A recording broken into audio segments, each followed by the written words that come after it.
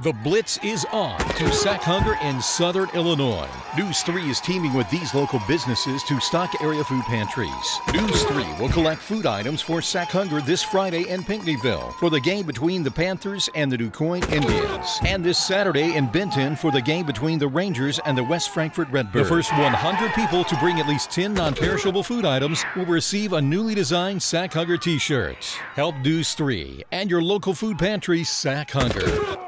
The high school football season kicks off tonight in southern Illinois, and so does our annual Sack Hunger Food Drive. News 3 is collecting food for area pantries, and tonight we're helping two communities in Jackson County. Meteorologist J.C. Briand joins us from Carbondale. And J.C., what can we expect tonight?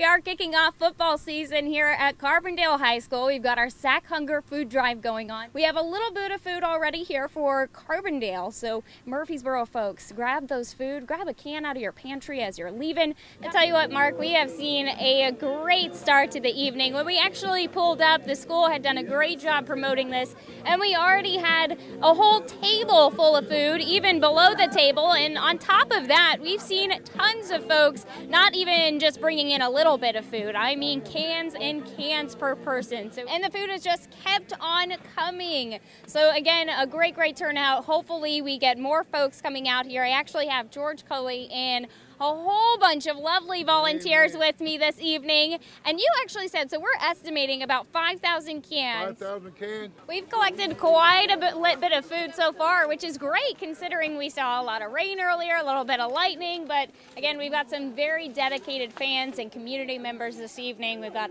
tons of food coming in, which is what we need because we're actually serving three pantries again. So that's going to be two Johnson City pantries and then one pantry from Vienna and in total, all of those pantries are serving over 350 families a month. And family sizes range between a one member to eight members. So that's a lot of people to feed.